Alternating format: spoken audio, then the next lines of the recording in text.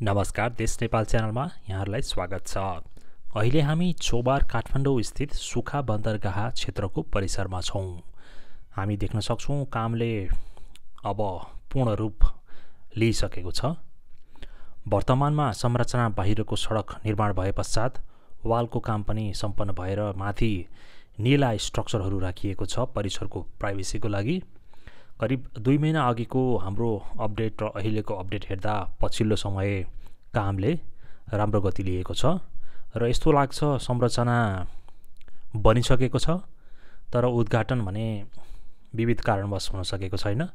टुटफुट कामहरू मात्रै बाँकी रहेको छ र यो प्रोजेक्ट पनि धेरै सुस्त मन्द गतिमा अघि बढ्यो र अहिले हेर्दाखेरि कामले लगभग पूर्णता पाउन लागिसकेको जस्तो लाग्दछ। गत जनवरी अठार दुई हजार उन्नाइसमा यस परियोजनाको शुभारम्भ गरिएको थियो। दुई अर्ब बिस करोड लगानीमा दुई सय रोपनी क्षेत्रफलमा पहिला हिमाल सिमेन्ट भएको जमिनमा अहिले यो परियोजना निर्माणाधीन छ। काठमाडौँमा भित्रिने र बाहिरिने सामानहरू यसै बन्दरगाह भएर आउनेछन् र जानेछन्। सुखा बन्दरगाहभित्र एक्जिबिसन सेन्टर वेयरहाउस सवारी पार्किङ स्थलहरू प्रशासनिक भवनहरू भन्सार क्वारेन्टाइन बैङ्क लगायत अन्य कार्यालयहरू पनि हुनेछन्। छ सय छब्बिसवटा कन्टेनरहरू अट्न सक्ने यस बन्दरगाहमा दुई सय पाँच ठुला ट्रकहरू सजिलै पार्क गर्न सकिनेछ। सुक्खा बन्दरगाह बनेपछि नेपालका बोर्डरमा रहेका भन्सार पोइन्टहरू जस्तै वीरगन्ज विराटनगर क्षेत्रमा भिडभाड निकै कम हुनेछ किनकि सामान बोकेका कन्टेनर ट्रकहरू विराटनगर वीरगन्जबाट सिधै इलेक्ट्रोनिक ट्र्याकिङ सिस्टम जडान गरी चोबारमै आई बजारको फर्दर काम हुनेछ।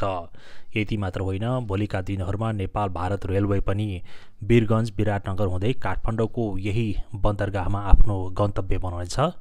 नेपालको ट्रान्सपोर्टेसन धेरै सस्तो हुनेछ यो प्रोजेक्ट। पूर्ण भएपछि तसर्थ यो प्रोजेक्ट ज्यादा नै महत्त्वपूर्ण प्रोजेक्ट हो। नेपालमा चोबार बाहेक अन्य ठाउँहरूमा पनि सुक्खा बन्दरगाहहरू बन्दैछन्।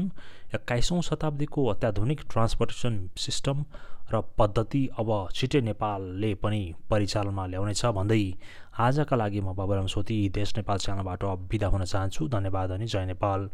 त साथीहरू यसै भिडियोमा हामीले बोनस फुटेज अन्तर्गत चोबारदेखि तल बलको चोकसम्मको दृश्य पनि राखेका छौँ। तसर्थ त्यो पनि हेर नबिर्स्नुहोला धन्यवाद।